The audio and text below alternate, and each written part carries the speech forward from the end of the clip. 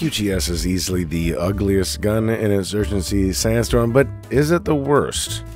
It's pretty difficult to say something like that because, as we all know, any gun can kill in this game, and any gun can kill very effectively in this game. But you can make a pretty good argument for this one, I think. Its fire rate is slow enough to be fairly useless in close range combat, unless, of course, you've gotten the jump on somebody. But if it's a one to one, forget about it, you're gone. Um, and for longer range engagements, which is ultimately where this is better suited, its horizontal recoil pattern will provide you just enough frustration to want to throw it out a window.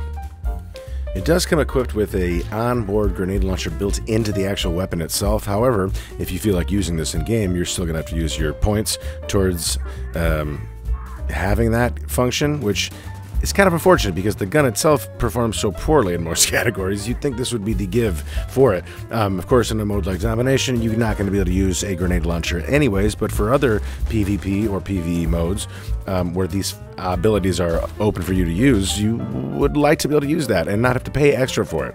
The fact that this weapon also costs four points right off the bat, making it the second highest class of weapon, uh, and from the point structure you can buy is sort of incredible.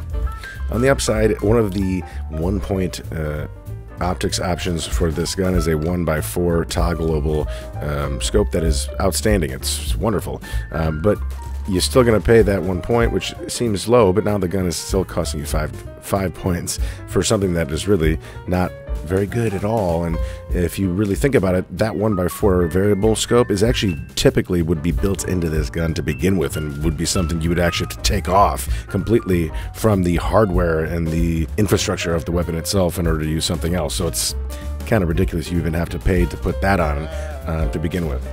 And having said all that, I know there are uh, quite a few people out there who think this is one of the better guns in the game. And you know what? To each your own. Again, as we all know, this uh, there is no right or wrong way to play this game, and every weapon has its place and can be used effectively, depending on the person using it. But I think, at the very least, we can say this is by far the ugliest gun in Insurgency Sandstorm.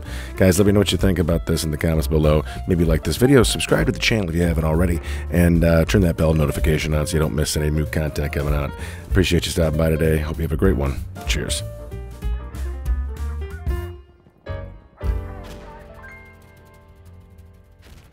Did it switch me?